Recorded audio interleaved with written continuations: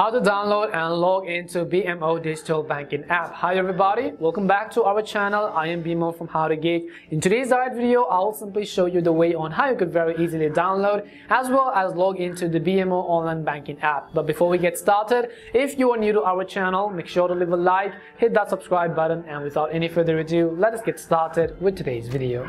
So first of all, in order to download, we're going to go over and then simply open up our device's respective app stores. For iOS users, open open up your App Store and for Android users, you have to open up your Google Play Store. Once you open up your device's respective App Store, in the search box, what you want to do is simply type in BMO Bank or some kind of uh, like that. So you have to simply input the keyword. As you can see right over here, BMO Digital Banking.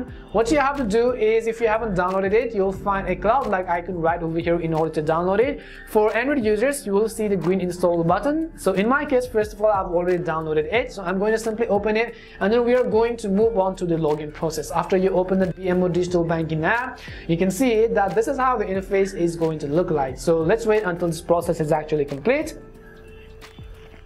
So as you can see by default we will be taken to the login screen automatically. So what you have to do is enter your user ID which you use during the sign up or the activation process. The next thing you have to do is simply enter your password as well. You could also tap on the show button which you see at the right hand side in order to show the password which you have typed in. And if you've forgotten your details by the way you could tap on forgot user ID or forgot your password. If you want to remember your credentials the next time you log in you can simply tap on remember me. If you want to set up your face ID and so on you could tap on the set up face ID and then log in using your biometrics next time. Once done, you could tap on the sign in button which you see at the bottom in order to successfully log into your digital banking on the BMO Bank. This was the way on how you could very easily download as well as log into BMO Digital Banking.